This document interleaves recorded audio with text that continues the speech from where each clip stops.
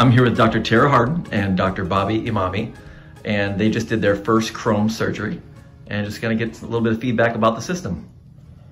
Uh, we really enjoyed the system. It's uh, very user-friendly and very accurate. Um, there are attention to details that we um, had problems with different systems, and this really resolved it. It's a very um, flexible system. It has components that are easy to uh, adjust and fit. Um, visibility is fantastic. Everything happens on the facial.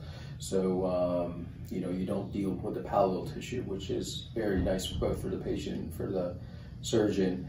Um, there are um, components that we liked when it comes to um, how user-friendly is and helps us with the timing, which was the biggest issue uh, that uh, I think a lot of practitioners have difficulty with, uh, and it made it very easy and accurate. So um, it which helps with, which obviously yeah. helps with the conversion piece, and so the conversion was super simple and um, you know snapping the PMMA onto um, the guide made things so easy you knew there was no inaccuracy or floating or moving you know buccolingual or mesial distal um, it locks into place and you do your conversion which took me less than 30 minutes and uh, I was done. So it went really really well and I really enjoyed it.